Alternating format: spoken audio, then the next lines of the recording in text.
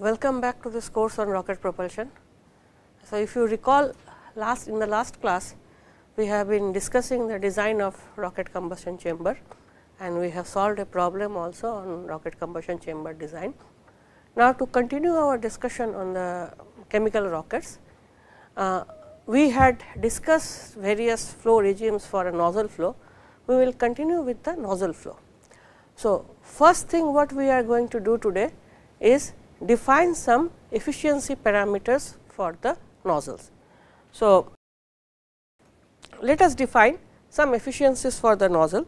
There are several efficiency parameters which are often used to describe a rocket performance. One such parameter is called cycle efficiency.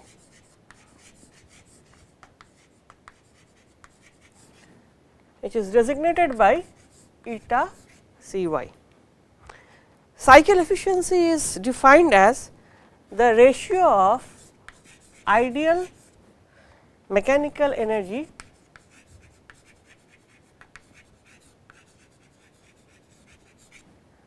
of the exhaust that is the hot gases that is leaving the rocket divided by, and the stagnation enthalpy after combustion.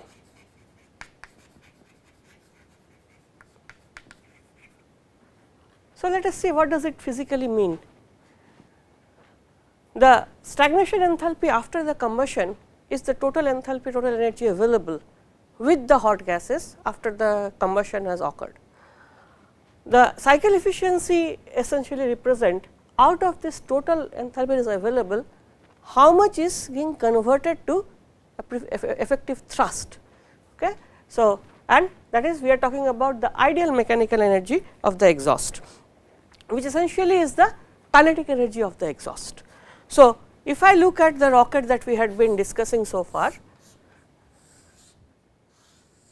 so this is the combustion chamber and a converging diverging nozzle representing the nozzle. Then after the combustion the total stagnation enthalpy in the combustion chamber is H C naught, where this subscript naught represent the stagnation state.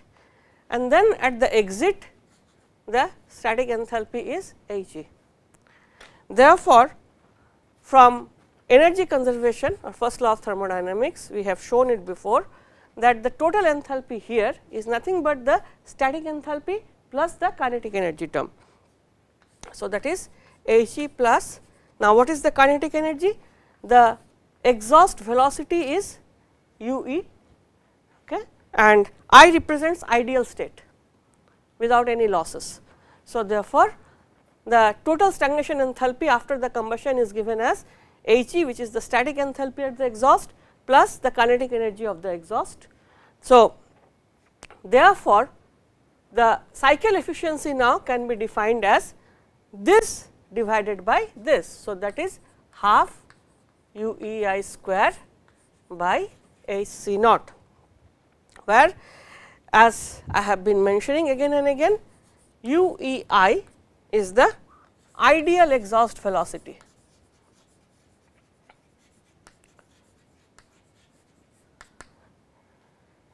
Now, first of all let us recapitulate what we have said as the ideal rocket. We have said that ideal rocket is a rocket for which there is no pressure forces. So, the expansion is ideal. So, therefore, for ideal exhaust P e is equal to P a. The exit pressure of the at the exit of the nozzle is equal to the ambient pressure that is the ideal rocket for us. At the same time we have also said that there are no frictional losses.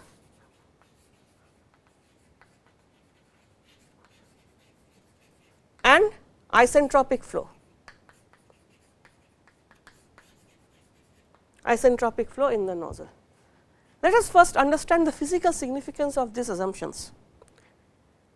Even if the um, flow, let us say we have seen the different cases for at different back pressure, there are different type of flows that exist in the nozzle.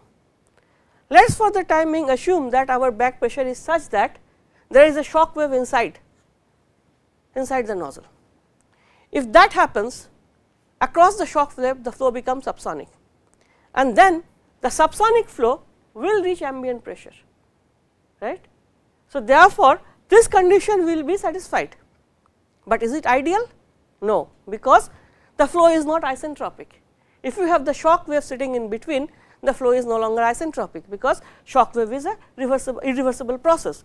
So, therefore, in order to assume the ideal expansion, we have to assume that the flow is isentropic. So, that there are no shock wave actually inside and then apart from that. So, there will be a shock induced change irreversibility, uh, uh, irreversibility also in the presence of friction there are some frictional losses. So, that also we are neglecting. So, with this assumption then the velocity that we will get is the theoretical velocity which we have already discussed in detail. So, therefore, that is our ideal exhaust velocity. So, now the cycle efficiency is defined with respect to that ideal kinetic energy and the stagnation enthalpy at the exit of the combustion chamber or at the inlet of the nozzle. Okay. So, now if I combine these two what we can see here is our half u e i square is nothing but the difference in enthalpy between the inlet and exit of the nozzle, because at the inlet of the nozzle the enthalpy is the stagnation enthalpy, because the flow is stagnant here.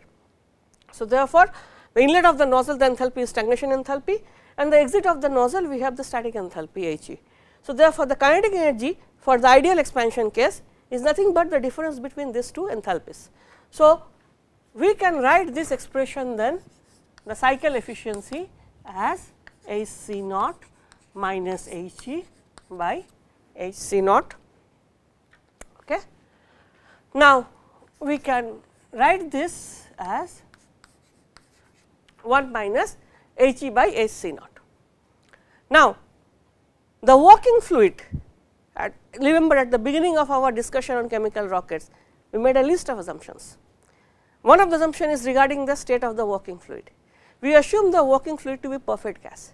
That means, it is calorically perfect as well as thermally perfect. So, therefore, the enthalpy can be expressed as a function of temperature only. So, if we do that this is equal to 1 minus C p T E i this is the ideal temperature divided by C p T c naught where C p is the specific heat at constant pressure. Now, we have also assumed that the composition does not change in the nozzle. We have assumed that it is a frozen flow therefore, and we have assumed also that the Cp is constant because temperature variation is not much, there is no recombination, no dissociation of the gases. So, therefore, Cp is constant through the nozzle that means the value of Cp at the inlet and exit are same. Therefore, this Cp let me put it as I and O okay, just to differentiate between the exit and inlet uh, sorry E and O let me put it like this. Now, these two are same. So, I can cancel this off so, my cycle efficiency now is nothing but 1 minus T E i by T C naught. Okay. Now, this is the temperature ratio now, right, and we are assuming the process to be isentropic that assumption is already there. So, therefore, the temperature ratio can be expressed in terms of pressure ratio, which for the isentropic flow, since the flow is isentropic, we had earlier discussed the isentropic relationship that uh, T E i by T c naught equal to P E i by P c naught to the power gamma minus 1 by gamma, where gamma is the ratio of specific heats which we have discussed. Here P E i is the exit pressure for the ideal case and P c naught is the stagnation pressure in the combustion chamber. Okay. So, therefore, this is how for an isentropic flow we can describe the temperature ratio. So, now we can put it back into the efficiency definition this becomes 1 minus P E i by P c naught to the power gamma minus 1 by gamma. Okay. And now P E i is a function of the shape, but we are considering ideal expansion. So, what we have already assumed that P e is equal to P a and ambient pressure is something that we know. So, therefore, here in this expression we can replace P e i by the ambient pressure P a. So, therefore, this can be written as 1 minus P a upon P c naught to the power gamma minus 1 by gamma. So, now this is our definition of efficiency cycle efficiency as we can see that this is a function of the pressure ratio nothing else.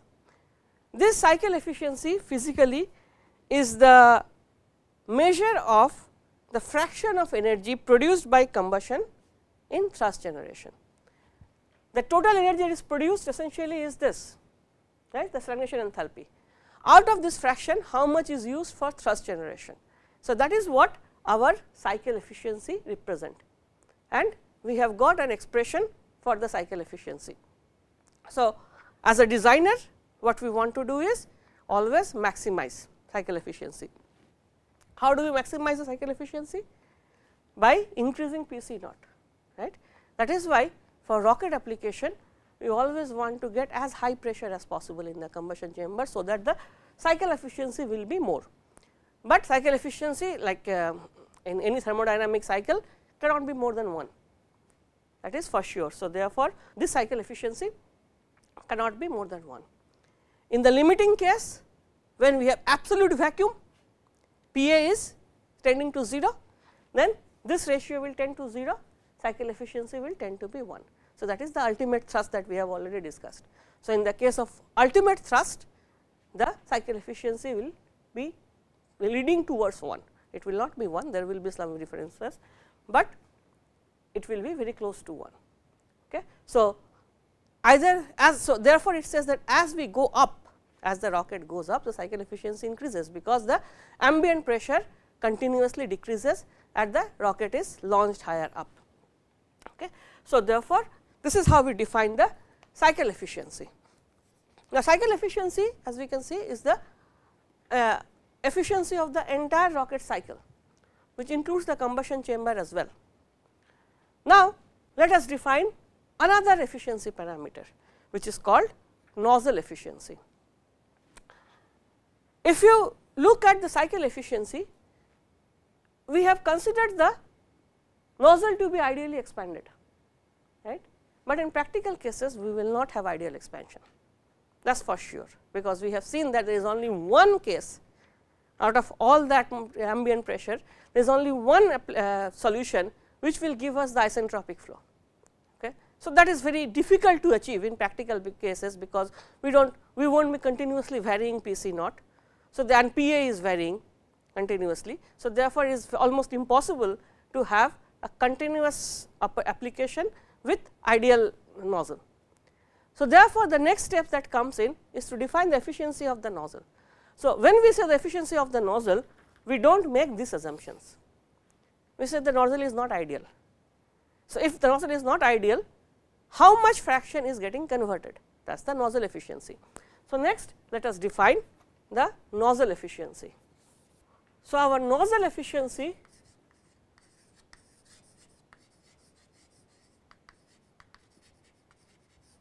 is designated by eta n is defined as actual mechanical energy of exhaust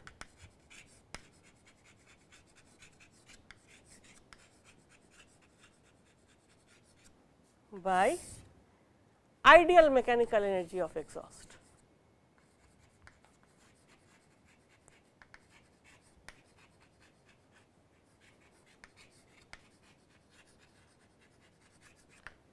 Okay. So, now in order to define this actual mechanical energy, what is the actual mechanical energy will be represented by? Here our P is not equal to P A. So, if you recall at the beginning when we defined the thrust or specific impulse, we have defined an equivalent velocity, right. So, that contains the information regarding the non idealness of the expansion, right. So, therefore, the kinetic energy that will be there if the expansion is not ideal will be represented by that equivalent velocity. So, the actual mechanical energy then will be half u equivalent square right. So, this is the kinetic energy at the of the exhaust for the actual nozzle which is not ideal and for the ideal we have already seen that this is equal to half u e square i u e i square. Okay. So, therefore, straight away we can see that the nozzle efficiency can be given as u equivalent by u e i square. Okay. So, what does nozzle efficiency now physically representing? If you look at the cycle efficiency, cycle efficiency tells us that out of the total energy that is produced because of combustion, how much is getting converted for an ideal expansion for the exhaust. Now, out of that is ideally supposed to have been converted, how much is actually getting converted that gives the nozzle efficiency. So, therefore, nozzle efficiency is the measure of the losses occurring in the nozzle during the expansion of propellant through it. However, however, how much is the losses because of the non idealness which will be frictional losses, which will be shock induced losses, which will be because of uh, over expansion, under expansion everything. All those things are included in the definition of nozzle efficiency. So, now with this what we can see is that u equivalent then can be written as u equivalent can be written as u equivalent square by 2 is half u i u e i square by eta n, where eta n is our nozzle efficiency. And we have defined our cycle efficiency as half u e i square by h c naught. Therefore, half u e i square is h c naught times cycle efficiency. Now, if I combine this and this, I get an expression for the equivalent velocity in terms of the cycle efficiencies and the total energy that is energy that is available for the exhaust that is the stagnation enthalpy after the combustion. So, if I combine these two what I will get is u equivalent square by 2 equal to A c naught eta cycle upon eta nozzle right. Now, H c naught is the total stagnation enthalpy at the inlet of the nozzle. Once again the stagnation enthalpy is equal to C p T c naught okay. and C p we have shown this before is equal to gamma r upon gamma minus 1 therefore, H c naught is gamma r upon gamma minus 1 times T c naught where T c naught is the stagnation temperature after the combustion. So, there is a temperature that exists after the combustion has occurred. So, then and we have shown that cycle efficiency is equal to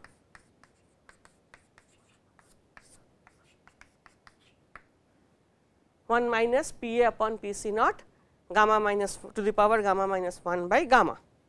Now, let us combine all this and get an expression for the equivalent velocity.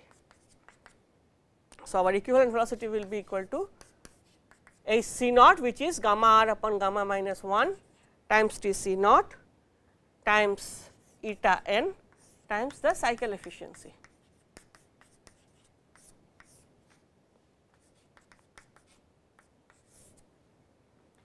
Okay.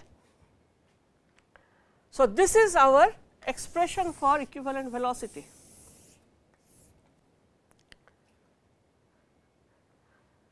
Remember that our specific impulse is a function of equivalent velocity.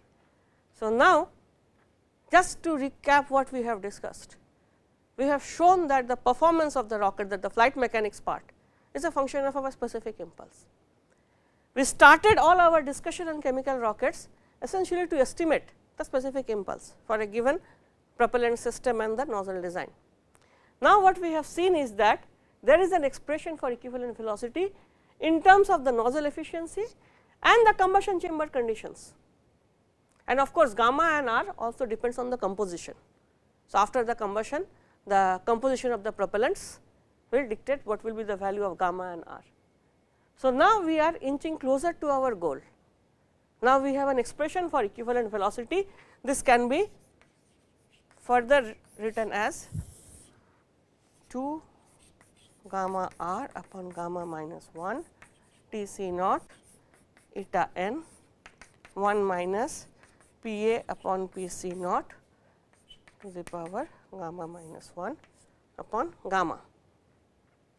This is our expression for equivalent velocity and as we see that this is a function of T c naught, P c naught, the ambient pressure and gamma and r which are the function of the composition and eta n. Eta n is essentially the rocket de nozzle design, because that will dictate what kind of losses will be there in the nozzle. So, this expression then gives up gives us all the information required to estimate our specific impulse. Okay. Now, I would like to point out few more things here.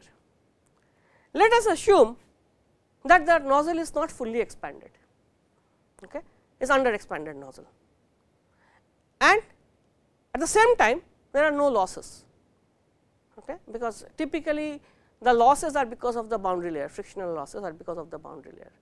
The boundary layer is so thin in this cases that it is confined only very close to the wall. So, therefore, the momentum loss because of the boundary layer is insignificant compared to the total momentum. So, we can assume that the frictional losses are very very small.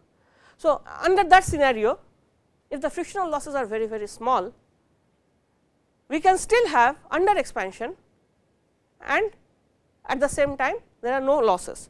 What happens to the nozzle efficiency under that scenario? So, let me look at that case. First of all our eta n is equal to u equivalent square by 2 upon u e i square by 2. This is the ideal expansion case. right? Now, we are assuming that there are no losses. Okay. On top of that, if the expansion was ideal, okay, if the expansion was ideal, then this value, then eta n will be equal to 1. So, therefore, this value is equal to this value, right. So, what is our ideal expansion? That P e is equal to P a. So, therefore, this number u e i square by 2 essentially is the exit velocity without any losses and ideal expansion. So, that is essentially u equivalent square by 2 when the expansion is ideal P equal to P A and no losses right. So, therefore, my nozzle efficiency definition then is equal to the actual case u equivalent square by 2 divided by u equivalent square by 2 for ideal expansion which is P equal to P A and no losses. So, I can write the nozzle efficiency like this. Now, what is equivalent velocity? This is the expression for the thrust F equal to m dot by u equivalent right that we have derived at the beginning of our discussion. So, from here u equivalent is nothing but F upon m dot, where F is the total thrust that is produced and m dot is the mass flow rate of the propellant. So, with this definition let us go back to this and put this here. So, then nozzle efficiency becomes F upon m dot for the actual case divided up by F upon m dot for ideal expansion with no losses. Okay. Now, remember that we have discussed the thrust coefficient, we have discussed the thrust. When we discuss the thrust, we have shown both mathematically as well as with from arguments that the thrust is maximum when the expansion is ideal right and for all those cases we assume there were no losses. So, therefore, the denominator here corresponds to the maximum thrust. So, maximum thrust also means maximum thrust coefficient right. So, therefore, and also this term will, will be proportional to the thrust coefficient. So, therefore, this is the actual thrust coefficient divided by maximum thrust coefficient. So, we can write this as C f upon C f max and um, it will be squared because thrust coefficient is, is proportional to u equivalent. Okay. So, therefore, the value of nozzle efficiency remember all this we are doing with no losses, no frictional losses. So, for no losses the, if, uh, the nozzle efficiency is given by C f upon C f max squared. This is for no losses. Okay. So, once again the value of C f max is the thrust coefficient when P is equal to P a, otherwise it is C f. Okay. So, therefore, we have defined now the nozzle efficiency when there are no losses. I would like to point out here one more very critical thing. This is the maximum thrust that is produced for a given ambient pressure. Okay. It is not the ultimate thrust produced by the rocket, because ultimate thrust will be produced when my cycle efficiency is 1 and cycle efficiency is 1 when this term goes to 0 which means P a tends to 0. So, that is the vacuum. Okay. So, therefore, the C f max is not my ultimate thrust. So, let me just rephrase it here. In this case, C f max is not equal to C f ultimate because ultimate thrust is the condition when P a tends to 0 or P c naught tends to infinity, but that is highly unlikely. So, we will take P a tends to 0. So, we are going to almost vacuum then the thrust produced is the ultimate thrust and that is not equal to the maximum thrust we are discussing here. Maximum thrust is we have shown that when P e is equal to P a when the expansion is ideal optimum uh, expansion. It is neither over expanded nor under expanded. Okay. So, this is the definition of nozzle efficiency. All these definitions we have been deriving so far for the nozzle efficiencies were considering converging diverging nozzles. Right. So, this is all for converging diverging. What if we have just a converging nozzle? Okay. So, the next case we case we will be discussing is just for a converging nozzle. And that will bring out the efficacy of providing the diverging section once we define the discuss the converging nozzle alone. So, for a converging nozzle essentially what is a converging nozzle that a nozzle which terminates at the throat it does not have the diverging portion otherwise it would have been like this, but the diverging portion is not there it is terminated here. Okay. So, then the exit area here is my throat area, exit area is equal to the throat area. Now, under that scenario what is the Mach number at the exit? It is 1. So, the exit Mach number for a converging nozzle is equal to 1. Now, we have shown the for the isentropic process or isentropic flow the pressure relationship as a function of Mach number.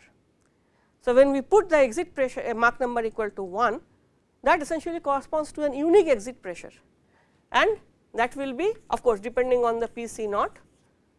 So, for this case P e upon P c naught is equal to a function of only gamma right that we have shown before. So, P by P c naught is equal to 2 upon gamma plus 1 raised to the power gamma upon gamma minus 1. With this then the thrust coefficient converging for just the converging nozzle will reduce to you can look at the expression for the thrust coefficient it will be gamma square upon 2 upon gamma plus 1 plus 2 upon gamma plus 1 to the power gamma upon gamma minus 1 minus P A upon P C naught. Okay. Let me explain this expression. We had derived the expression for the thrust coefficient before. Now, we are considering only a converging nozzle. So, for the converging nozzle the pressure ratio this is the exit pressure which now we are saying that it is not equal to the atmospheric pressure or ambient pressure because we do not have an ideal expansion in this case let us say. The exit pressure is a function of only gamma and there will be now because the expansion is not ideal there is a pressure term appearing here. If you look at this too this is nothing but this right so, this is nothing but P e minus P a upon P c naught. Okay. So, this is coming from there and this term relates to the mass flow rate m dot and u equivalent. So, that will come like this.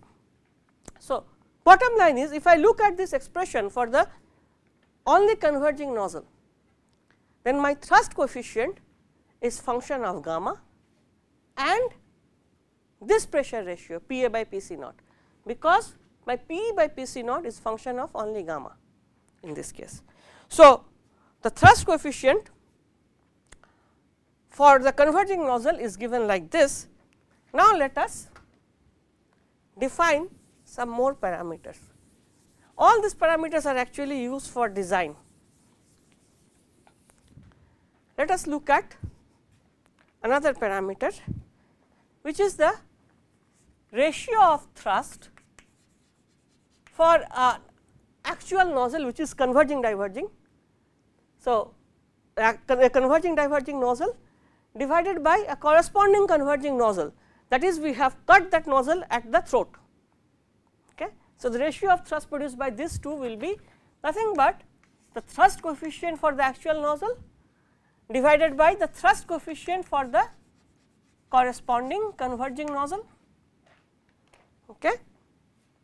Now, the thrust coefficient for the actual nozzle will be we have shown this before function of gamma the composition of the propellants, the exit pressure and the ambient pressure. So, the nozzle design as well as the composition. So, we have shown this before that this is a function of gamma, P e and P naught. On the other hand, for the converging nozzle alone as we are showing here that the dependence on P by P c naught is replaced, by a dependence only on gamma. So, therefore, for the converging nozzle alone thrust coefficient is function of only gamma and sorry this is P a gamma and P c naught. Let me write it as ratios. okay, so that P c naught also comes into the picture. So, now for the converging nozzle it is no longer the function of the exit pressure because exit pressure is already predetermined because we are saying that at the exit the Mach number is 1. So, the exit pressure is already predetermined from this relationship. So, therefore, this is the functional relationship. If I now combine these two and look back at this ratio f upon f converging, then that becomes a function of gamma P e by P c naught and P a by P c naught. Okay. The pressure ratios as well as the composition. Let us now look at the physical uh, significance of this. For that what I will do is I will plot now one point I like to point out here that this pressure ratio P a by P c naught on which parameter does it depend?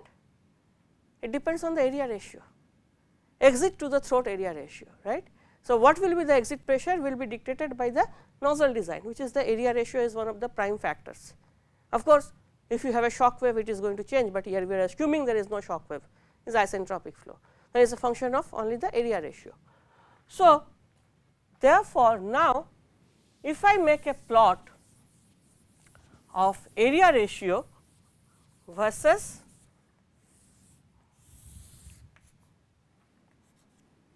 this is my A by A star.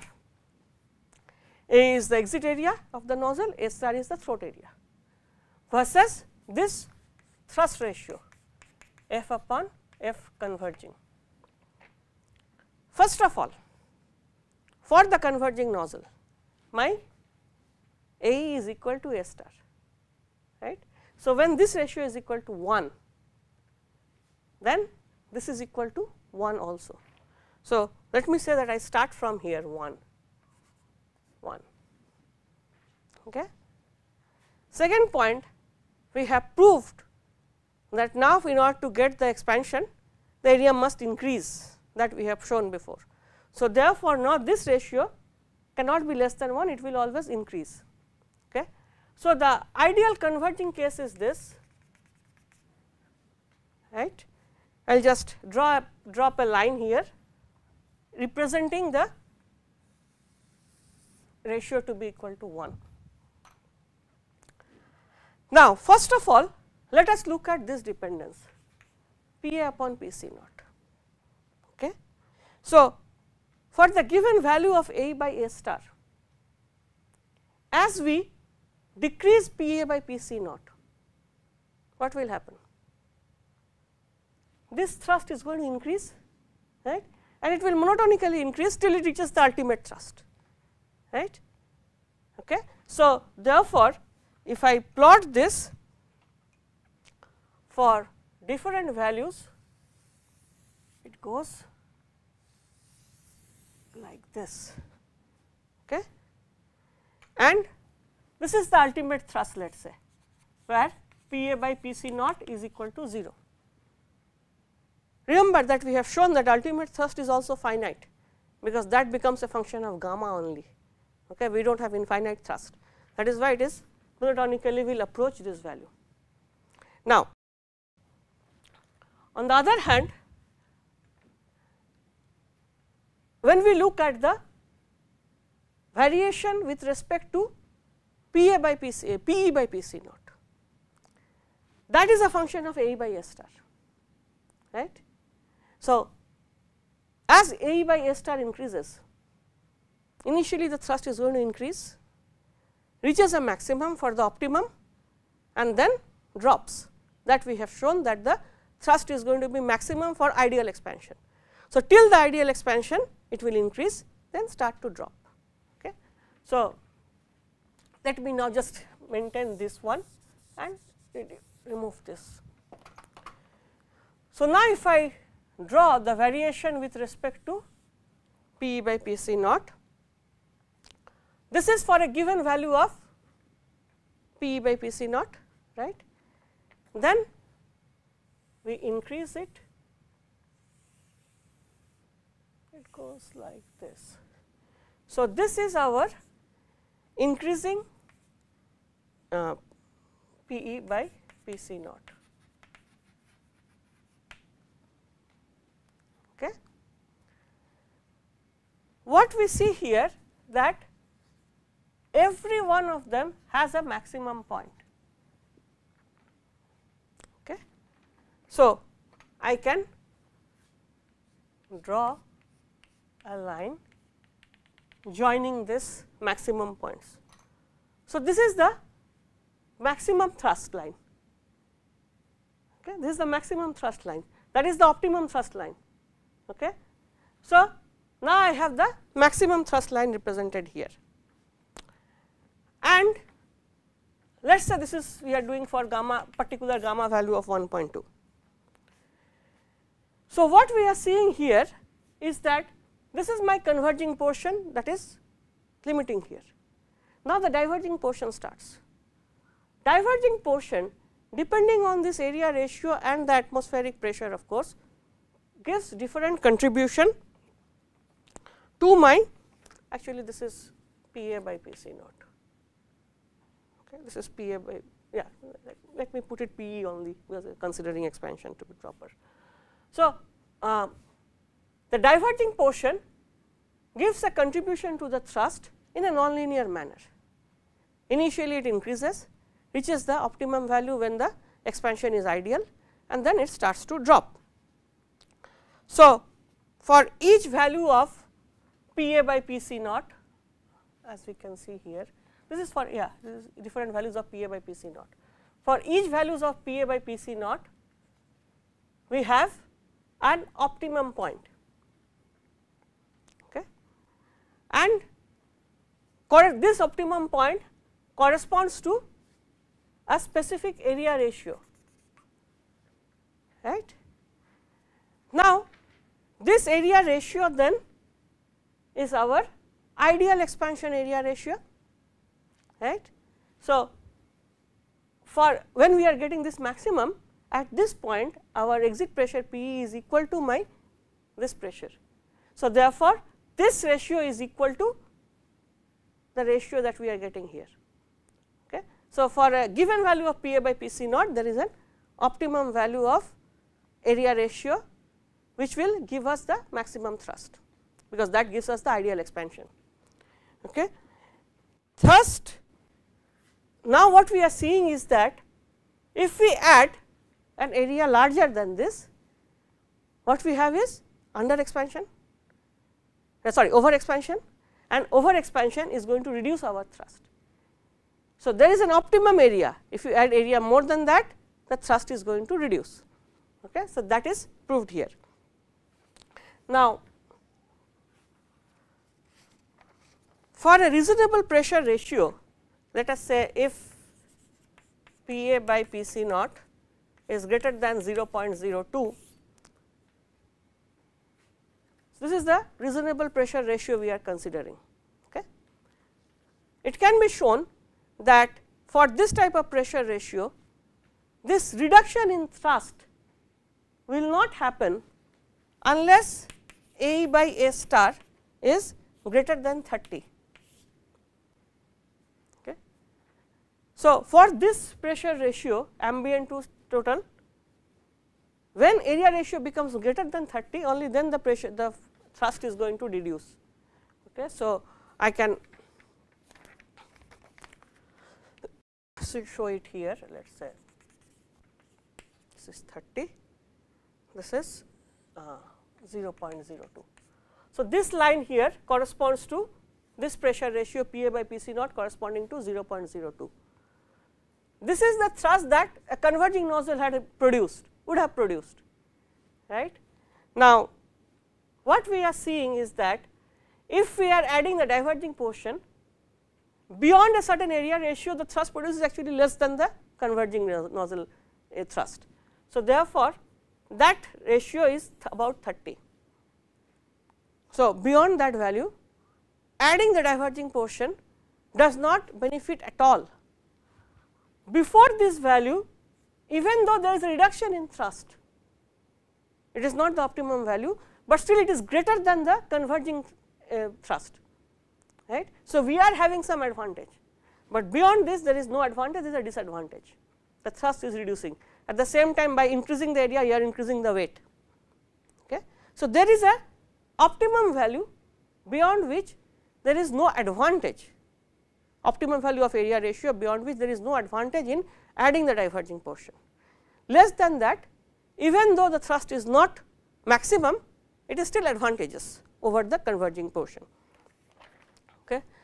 Now, for very small pressure ratios let us say if the pressure ratio is close to 0.001 then as we can see that as we are because this is pressure ratio increasing. So, decreasing will be in this direction. Okay. If you have very small pressure ratio this area ratio is very large right. So, we can have huge areas or very large areas associated with the maximum thrust. So, for the very small pressure ratios we need to have large nozzle exits in order to get the maximum thrust, which may not be always possible. So, we may not have the maximum thrust, but we may have something still more than the converging portion. So, that is the advantage that we will be obtaining. Now, let us look at another scenario. As we keep on decreasing the pressure ratio, what happens? What happens we have discussed as we reduce the back pressure? What happens? Shock wave forms, right. So, as we keep on increasing this pressure, the shock wave initially will be outside, slowly it will move in. So, when the shock will stand at the exit, right after that the flow becomes subsonic. So, that is the limiting point of ambient pressure or limiting point of area ratio. We do not want to operate beyond that because the flow becomes now non isentropic, there is a shock wave in the nozzle. So, there is a limiting value here, this is called shock line.